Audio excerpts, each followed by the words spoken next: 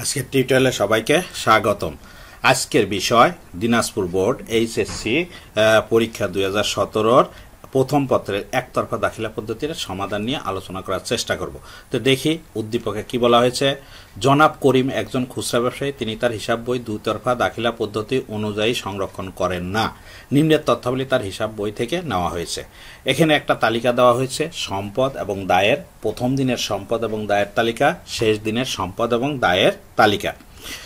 কিছু তথ্য দেওয়া আছে। জনাব করিম নগদ দশ হাজার টাকা এবং দুই হাজার টাকার পণ্য উত্তোলন করেন। এছাড়াও তিনি কারবার হতে তার ছেলের স্কুলের বেতন দিয়েছে এক হাজার টাকা। উত্তোলিত অর্থের দ্বারা আট হাজার টাকা মূল্যের একটি ডেলিভারি ভ্যান ক্রয় করেছে। অন্যান্য তথ্যাবলীর মধ্যে আছে, আসবাবপত্রের উপর দশ পাঁচ পার্সেন্ট অবস্থায় ধার্য করতে হবে। বিনিয়োগের সুদ এখনও অনাদায়ী রয়েছে। প্রাপ্য হিসাবের উপর দশ পার্সেন্ট অনাদায়ী পাওনা সঞ্চিতি তৈরি করতে হবে।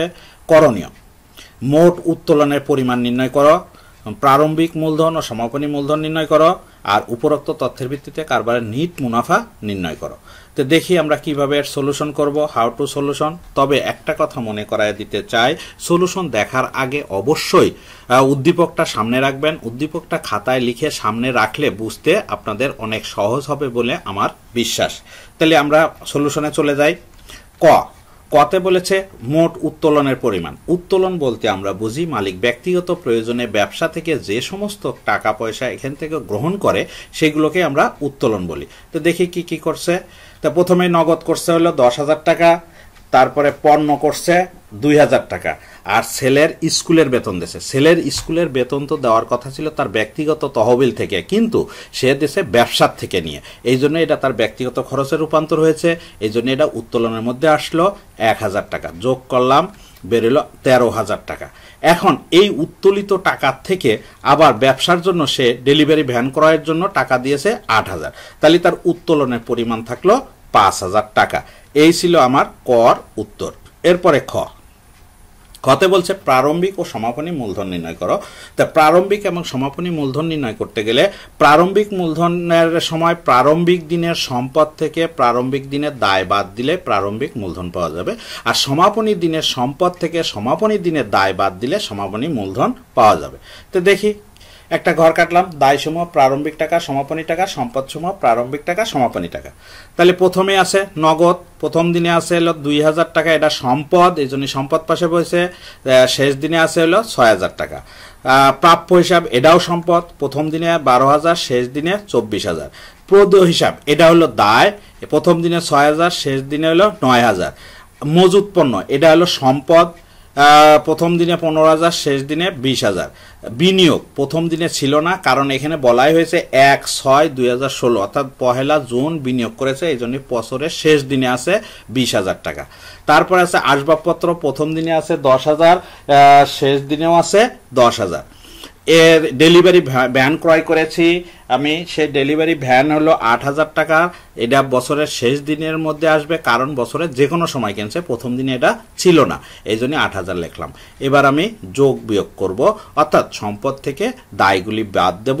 এই বাদ দিলে যে পার্থক্য বেরোবে, সেটাই আমার মূলধনের রূপান্তর, মূলধন হবে। তাহলে প্রারম্ভ দিনের সম্পদের যোগফল হলো উনচল্লিশ হাজার, যোগফল নিয়ে আসলাম, বিয়োগ করলাম, বেরোলো তেত্রিশ হাজার। শেষ দিনের সম্পদগুলো যোগ করলাম, অষ্টআশি হাজার, নিয়ে আসলাম, বিয়োগ করলাম, বেরোলো উনআশি হাজার। এটা হলো সম্পদ এবং দায়ের পার্থক্য।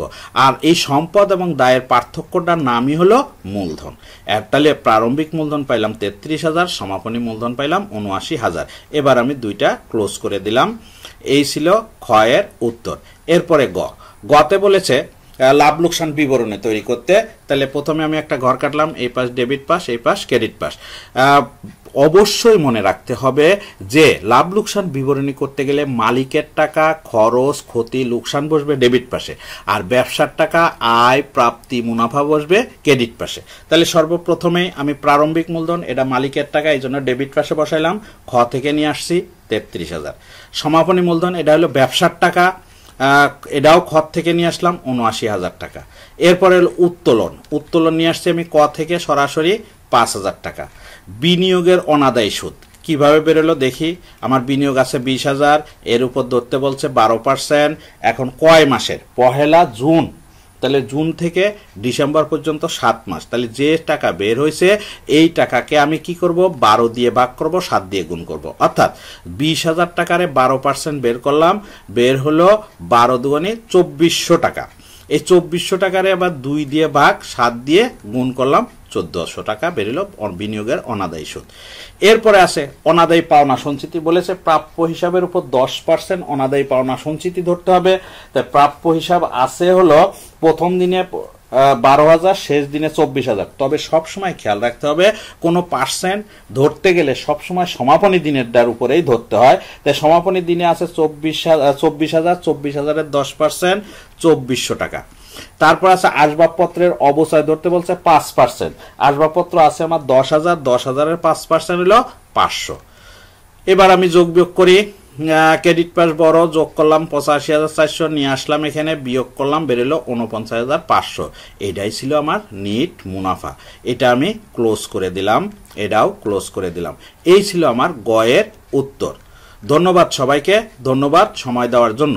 আমার এই ভিডিওটা যদি কারোর কোনো উপকারে লাগে, তাহলে অবশ্যই সাবস্ক্রাইব করে রাখবেন, যাতে পরবর্তী ভিডিও আপনার কাছে সরাসরি পৌঁছে যায়।